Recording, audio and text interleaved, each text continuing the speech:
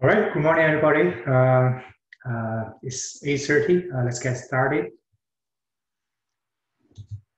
Uh, before we start, uh, we're gonna have our first lab session this week. Okay, uh, the first lab will be very simple. we mix some cement paste with different type of water cement ratio, chemical admixtures and mineral admixtures and trying to observe the flowability. Okay, so this will be a lab demonstration. Okay, so uh, please join me for Monday group at 2.30 today. Okay. So today we're going to discuss uh, another major component of concrete, which is uh, chemical admixtures. So last time we discuss mineral mixtures such as fly ash, silica fume, and slag. Okay. Uh, the difference between chemical and mineral mixtures are this. So first of all, chemical mixtures do not replace cement. Okay. Uh, the dosage of chemical mixtures is very small. Uh, this is kind of different from mineral mixtures. Okay. For example, uh, we use around 5 to 15% for silica fume, 20 to 40% normally for uh, fly ash. But for chemical mixtures, we only use sometimes 1%, sometimes even less. Okay, so generally, chemical mixtures do not replace cement. They also have great effect on fresh property mainly. Okay, for example, they can make the concrete very workable, uh, increase workability, or they can increase or reduce the setting time of concrete. So this is belong to fresh properties. They may also improve the processing of materials.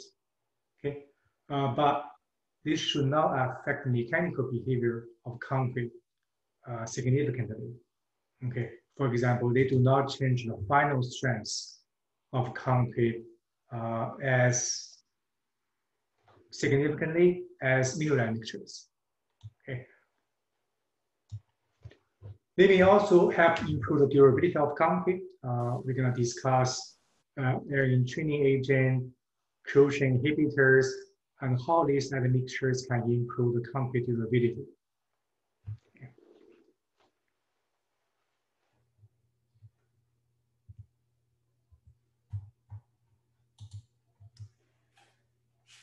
All right, so that's a several type of chemical mixtures. Uh, we're going to discuss air entraining agent, uh, set controlling admixtures, uh, both retarder, which will increase setting time, or accelerator, which will reduce the setting time of concrete.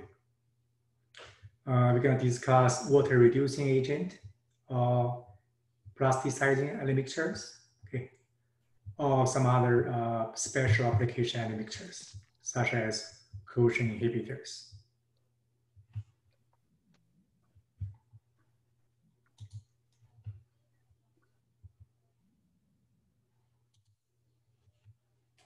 So this table summarizes uh, the major type and the beneficial effect of uh, chemical admixtures. Uh, workability, uh, which is specified for by ASTM, so ASTM is American, American Society of Testing and Materials. Okay. So they have different committees setting standard for, for different type of materials. So we have water reducing admixtures, plasticizer, air entraining admixtures for workability. For set controlling admixtures, we have accelerator, we have retarders, uh, you know, and also for strengths, uh, which is belong to water reducing agent, and also durability, such as air entraining agent, uh, water reducing admixtures, uh, which may also uh, improve the concrete durability, uh, besides uh, enhance the strength of concrete, and also corrosion inhibitors.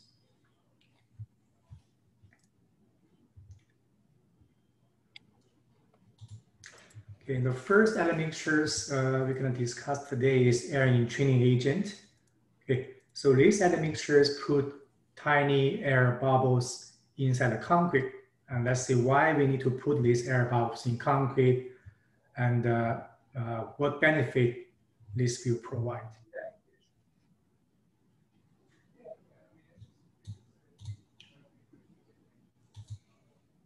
Concrete in cold, wet climates undergoes many freeze-thaw cycles during the fall, winter, and spring. During a freeze-thaw cycle, no matter how low the water-cement ratio, concrete is somewhat porous. Water is able to enter the spaces and freeze. When water freezes, it expands. When there is no room for this expansion, stresses develop inside the concrete. The concrete relieves these stresses by cracking. Over many freeze-thaw cycles, these stress cracks appear as surface cracks or scaling. For quality concrete in freeze-thaw areas, an air entraining admixture should be added to the mix. Entrained air provides millions of microscopic bubbles of stress relief when water freezes and expands. Air entrainment is what makes this weather-exposed Chicago driveway different from the floors not exposed to the weather in this multi-story building, and even this driveway in Florida, which isn't exposed to the many freeze-thaw cycles. So air entraining agent is mainly used for uh, the physical attack cause freeze-thaw, okay, but also be uh, maybe beneficial to resist some other chemical attacks, such as alkali reaction and sulfate attack. Uh, we mentioned sulfate attack in early lectures, uh, but uh, not ASR. Uh, we're going to talk about this in much more details in future lectures on concrete durability. Okay. In previous lectures, we know concrete is uh, strong under compression, but weak under tension. So the tensile strength of concrete is pretty low. Okay.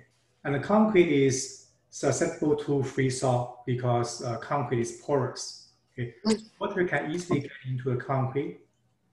But when water freezes, it will expand. So 9% increase in volume when water become ice. Okay? So uh, this expanded volume will cause concrete to crack if the volume cannot go any, anywhere. Okay? So when they reduce water to cement ratio of concrete, uh, the concrete permeability will be lower. Okay. Uh, the freeze-thaw resistance will be higher. Okay. But for any concrete, we have the so-called capillary pores, uh, which will be filled with water. Okay. And when the water in the capillary pores freeze, uh, the volume will try to go somewhere. If we have this empty air bubbles uh, by introduce air entraining agent. So the expanded volume will be go into these empty air bubbles. So the tensile stress will be released. So the concrete will no longer be cracked. Without these empty air bubbles, uh, the ice will crack the concrete. Okay. So that's the major reason why we put air entraining agent uh, if the concrete will experience some uh, freeze-thaw cycles.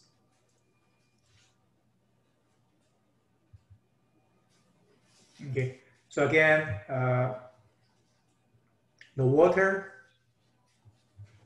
when it become ice, uh, the volume will expand. So uh, in the empty air bubbles, uh, we may find some ice formed air on the air, air bubbles, so the stress will be released. We can also see from these uh, SEM photos, we can see air ice formed inside empty airs. So the stress will be released. So air entraining agent, uh, the molecule is uh, a kind of surface active molecule. Okay. Uh, it will create and stabilize small air bubbles. We call that air entrained air. Uh, the size of the air is very small. So you can see from here, 0.05 millimeter to around one millimeter. Okay. So the dosage of air entraining agent is very low. Okay. On the two end of the molecule, we have hydrophilic, which means uh, that end likes water. The other end is hydrophobic, uh, hates water. So because nature of the molecule, the air bubbles will be generated and also stabilized inside the concrete. Okay. The figure on the right showing us, uh, depending on air content as a percentage, if we increase the air content, uh, concrete become more durable. Okay, so we have a so-called durability factors, okay, uh, which is uh, defined as this. Okay, let me show you.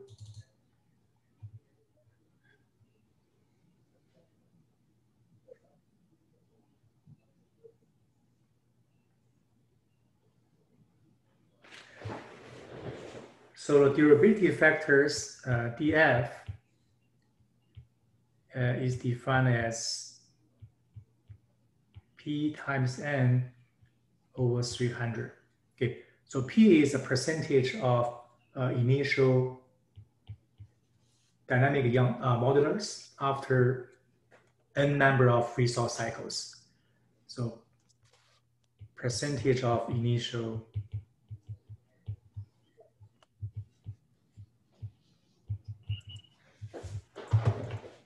dynamic modulus after n cycles. Okay, and n is the number of freeze-thaw cycles.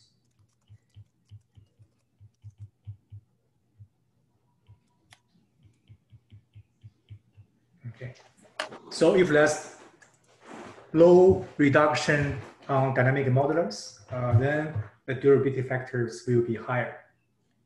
Okay, so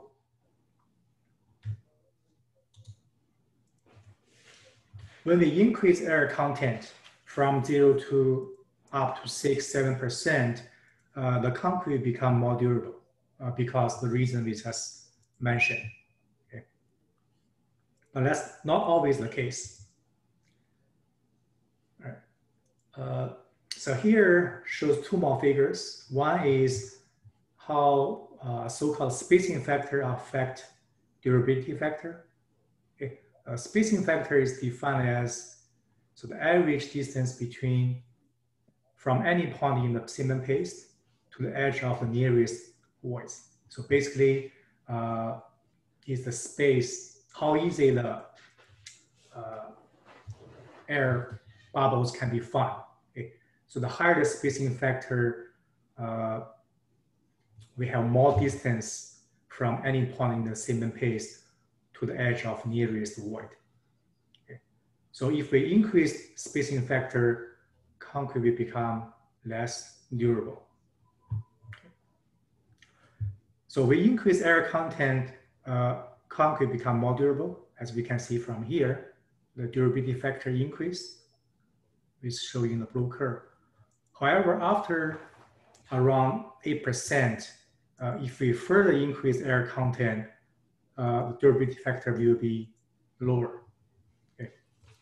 The reason for that is because, sorry. Okay.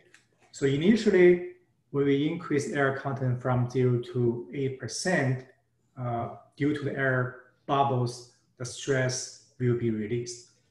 However, if we further increase air content, the compressive strength will be much lower. As we can see from here, the green line, compressive strength will be continue to go low when we increase air content. So beyond 8%, uh, the strength of the concrete will be too, too low, so it cannot resist any tensile stress. So as a result, the durability factor will be lower.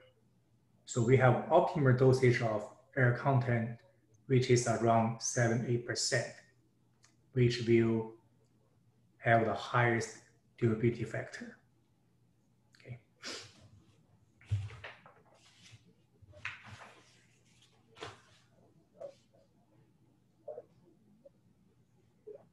All right, so the spacing factor is the ratio of air to cement. Okay, so here shows two concrete with different volume of aggregate cement and air content Okay, the air content is 8% for the first concrete and 4% for the second concrete. But the air spacing is basically the same because air spacing is the ratio of air over cement. Okay, so the ratio of air to cement is more important compared with air content by itself.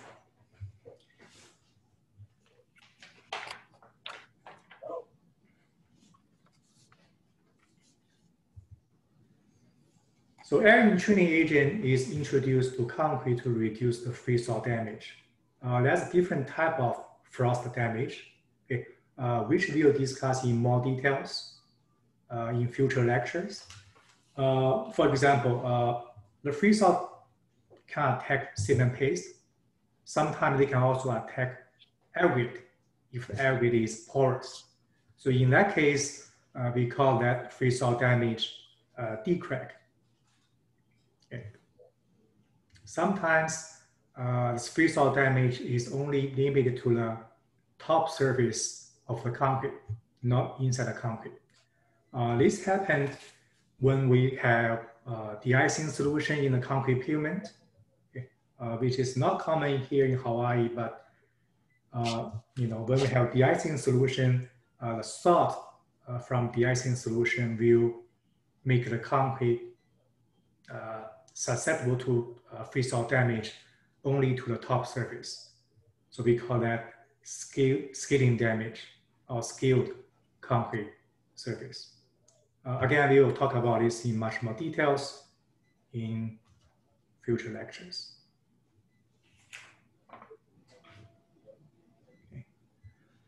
So air entraining admixtures uh, is specified by ASTM Committee C260 or AASHTO, which is another uh, uh, standard setting organization. Okay. So uh, air entraining agent may improve uh, durability of concrete exposed to freeze-thaw damage uh, from de-icing solution, heating damage. Okay. Uh, may also improve durability to uh, sulfate attack and also alkali reaction, which is chemical attacks from alkali from the cement paste to the silica from a certain type of aggregate. Whenever we have volume expansion in hardened concrete, uh, that expanded volume may, may cause concrete to crack. So uh, if that's the case, the air entraining agent may be beneficial to reduce this type of attacks because uh, the air entraining agent introduce tiny air bubbles, uh, which is in spherical shape. So it may, it may also improve the concrete workability. So these air bubbles will behave like sand with you know, smooth surface. Uh, you know, we call that ball bearing effect. It will reduce friction between the coarse aggregate and make the concrete more workable more flowable. Right. So that is uh, air entraining agent.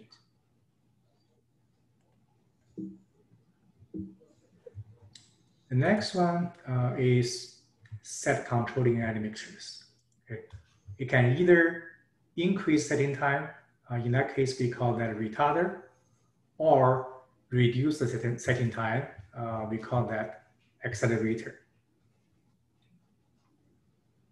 To slow setting time and minimize cracking in hot weather, a retarding admixture should be added to the mix. In very cold weather, hydration and strength gain may slow or stop completely. To place concrete for this high rise in winter, an accelerating admixture may be needed to speed the concrete set time and strength gain. All right, so before we talk about uh, accelerator or retarder, uh, let's review uh, the chemical reaction of cement. Okay. So here is old slide showing us the heat of hydration of C3S. And we know we have five different stage. Okay, from stage one, hydrolysis, to stage two, uh, the dormant period, to stage three, accelerating stage, stage four, decelerating stage, and the final stage, which is diffusion controlled steady state. Okay, and we know the reason for the second stage, the dormant period is uh, the system wait for the concentration of the ions, such as calcium, hydroxide ions, to achieve the certain threshold concentrations. So after that, we have initial set of concrete, uh, which is the beginning of the stage three, and the final set occurs at end of stage three. Okay. Uh, let's first look at accelerators. Uh, that's two type of accelerators. Okay, uh, the first one is called quickset, uh, which is used for emergency repair. So quickset can set a concrete in a few minutes. Okay, so this type of accelerator working by increased reaction of C3A. Okay. Uh, we know the reaction speed of C3A is the fastest. The second one is C3S. So quickset increase C3A reaction. So the setting time of concrete uh, will only be a few minutes. The second type is called regular accelerators. So it accelerates C3S reaction okay, uh, by reduced the induction period, which is stage two here, the dormant period.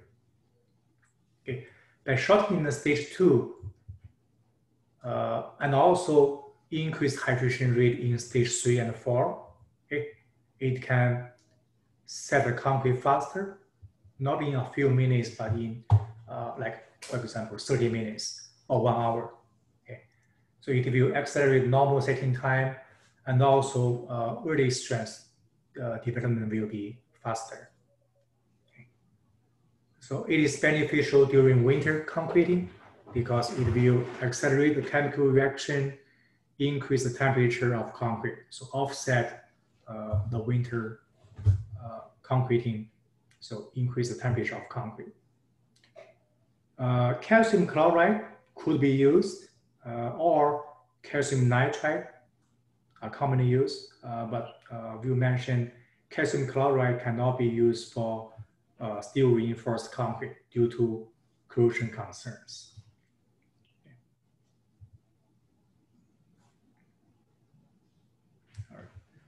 Uh, the type of accelerators could include calcium salt, uh, inorganic salt, or organic compound including calcium formate, or some other solid materials also include calcium.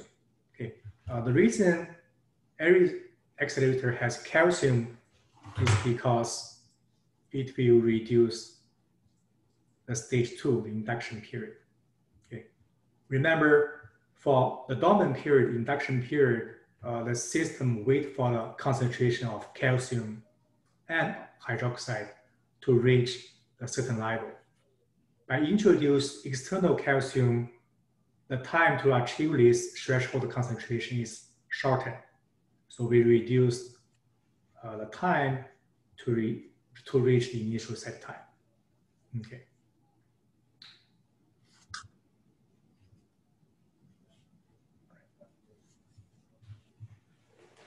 So again, it will accelerate the rate of hydration, uh, reduce setting time, and also early strength gain. Okay.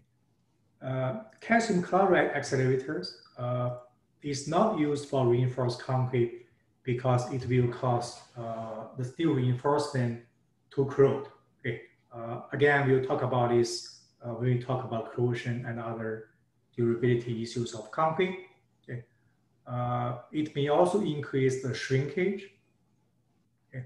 So uh, because of that, calcium chloride accelerator cannot be used for uh, steel reinforced concrete.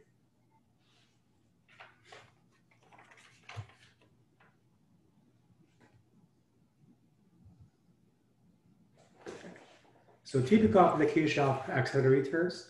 So we can uh, expedite the start of finishing operation, uh, reduce the time required for proper curing and protection, so reduce the curing time, and uh, increase the rate of early strength uh, if early high early strength is something we want.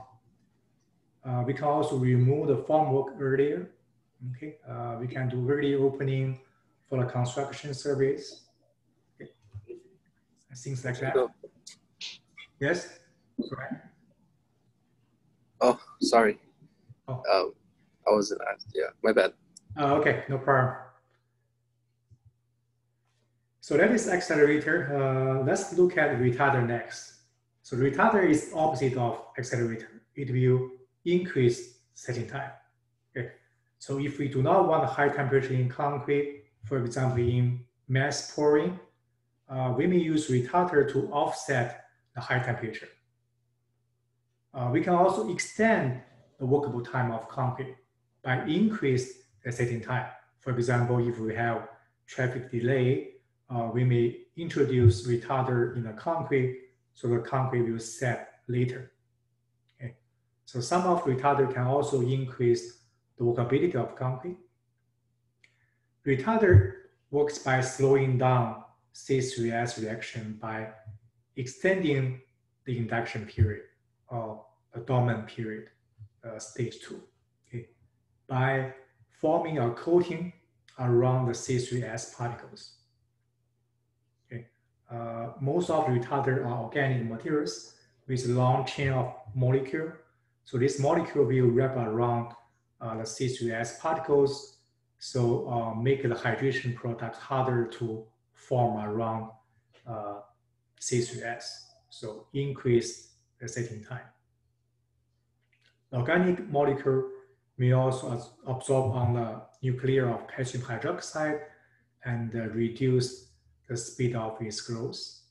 Uh, it may also slow down the C3A reaction by uh, absorbing on the C3 hydration product, okay, uh, which is more complicated.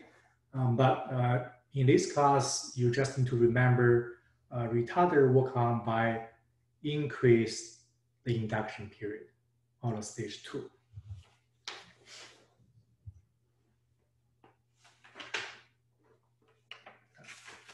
So the major type of retarder, uh, as we can see, uh, almost all uh, organic materials, okay, such as lignocellulosic acid, hydroxy carboxylic acid, and salt, or table sugar.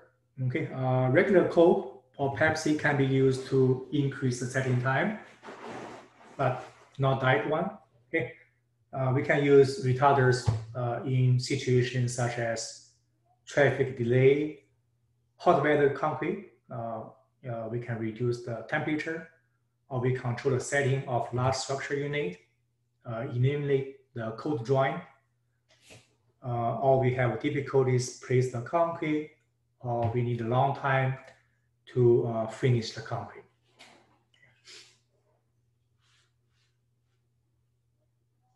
All right, so that is the retarder.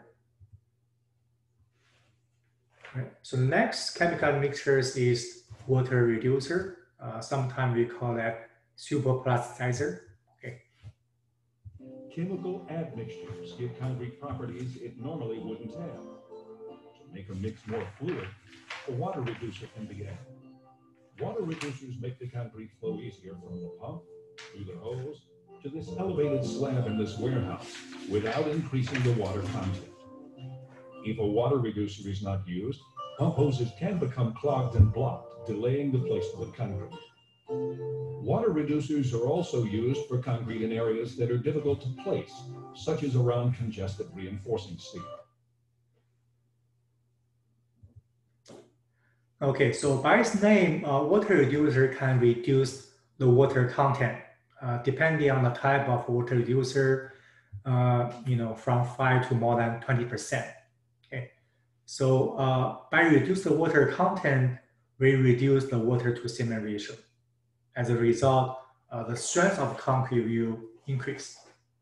Okay, uh, if the goal is not to, in, to reduce the water content, by introduce water reducer, we can increase workability, uh, make the concrete more flowable. Okay, so in that case, we call that plasticizer. Okay, so most water reducer are uh, organic materials, okay, such as salt of lignosulfonate or hydroxycarboxylate acid, okay, or some polymeric materials. So that's a different uh, action mode uh, explaining how this water reducer can improve the workability of concrete. So one of them is uh, they can neutralize the surface charge of cement particles. Okay. So for normal concrete on the surface of cement particles, we may have negative or positive charge. Okay. Because negative or positive charge, uh, they will attract to each other. Uh, water reducing agent, the molecule can, first of all, neutralize all the positive charge. So it will make the surface all have negative charge. So the particle will repel each other, each other as a result.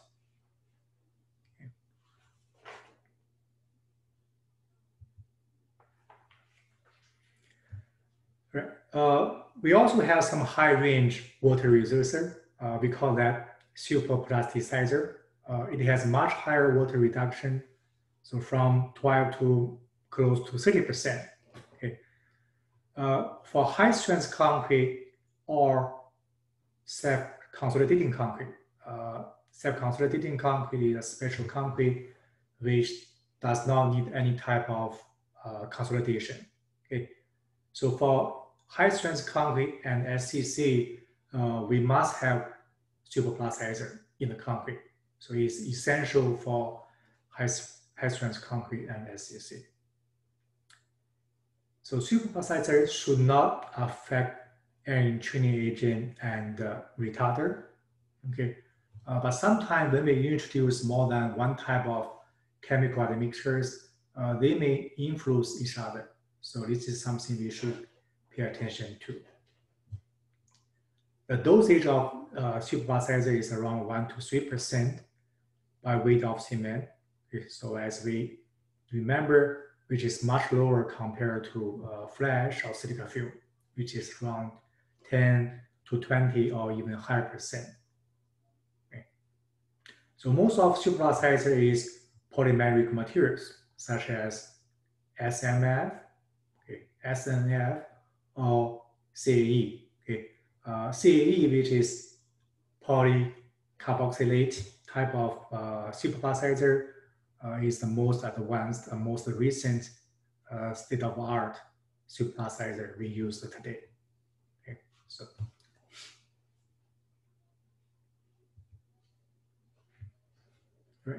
So we talk about different type of mode and how superplasticizer work. So one of them is neutralize the surface charge. Uh, this is the second one. So we call the physical binding and dispersion. Okay. So before we add superplasticizer, the cement particles will flocculate together. And when we introduce superplasticizer, this long molecule will wrap around on the surface of the particles and we deflocculate uh, the particles. So the the concrete become more fluid. Okay. So uh, this mode of action is called physical binding. Another mode uh, which we just discussed earlier is called electrostatic repulsion. So the molecule will neutralize the surface charge. So all the particles will have negative charge. So they will repel each other. So that is the second mode. And the third mode is called steric repulsion. Uh, this is due to the nature of the molecule. The molecule is like this, has a long arm. They bind on the surface of the particles, uh, which is in the gray square. So the molecule of superplasticizer is showing the red lines. Okay, so due to the nature of the long arm of its molecule, uh, they will repel each other. So we call that steric repulsion.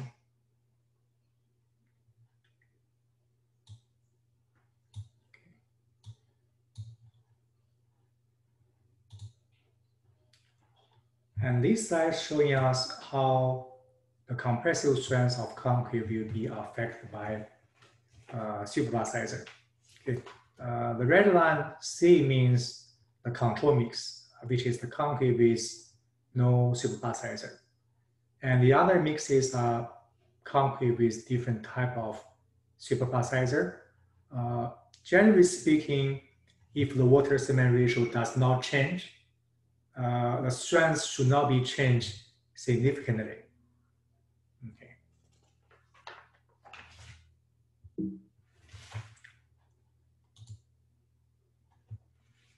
Right.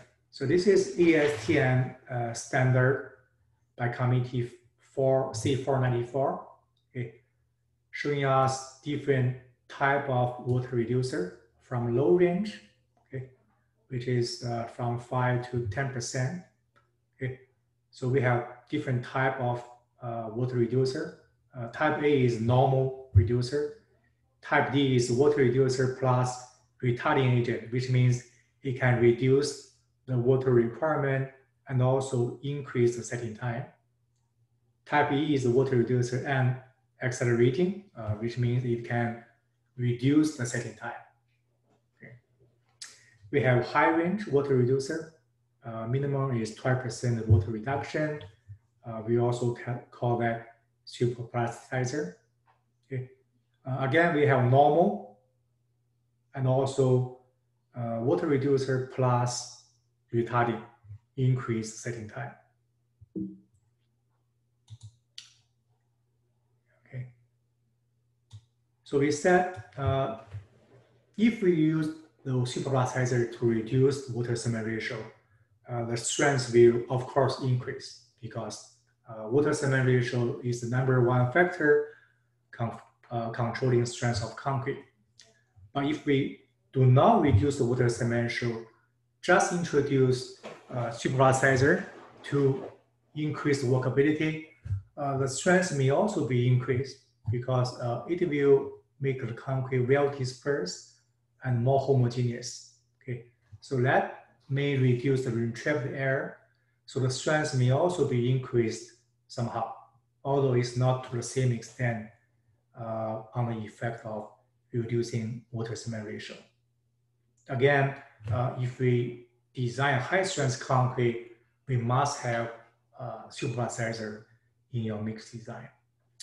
In the end of the semester, uh, you're gonna design your own high strength concrete. Uh, also, we cannot cast your own concrete uh, as we did in previous semester, but uh, you're gonna submit your high strength concrete design um, and I will have a look and give you some comments and suggestions.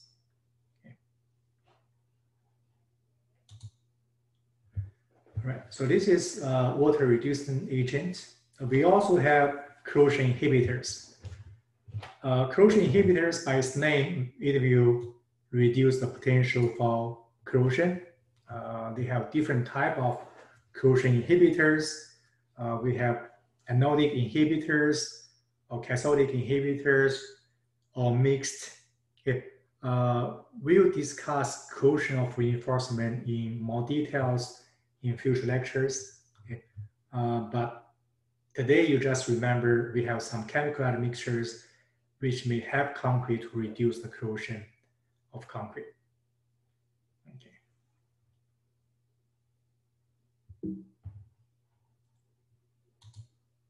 All right. Shrinkage reducing admixtures. Uh, we know concrete may shrink due to different reasons. For example, dry shrinkage, uh, chemical shrinkage, autogenous shrinkage. Uh, we have dedicated lecture on reasons for shrinkage of concrete and how we can compensate that. Okay. Uh, again, today you just remember we have some chemical admixtures which can reduce the shrinkage of concrete and make the concrete shrink less. Okay. Uh, shrinkage reduced admixture is working by reducing the surface tension of pore solution, which is the water inside the concrete. So reduce the surface tension of pore solution, so the shrinkage will be less.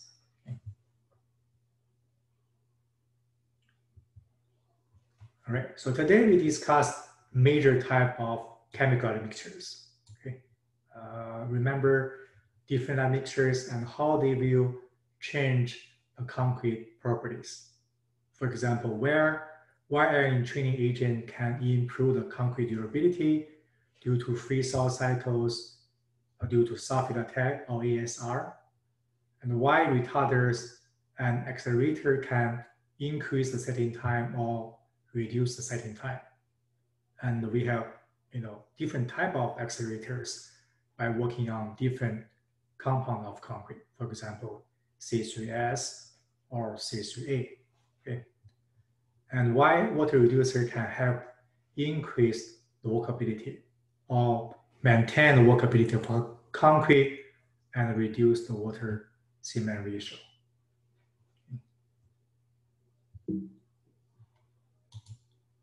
All right. So yeah, that's the end for today's lecture. Uh, remember, this week we have our first lab, uh, which is uh, we make some cement paste and observe the flowability. Okay.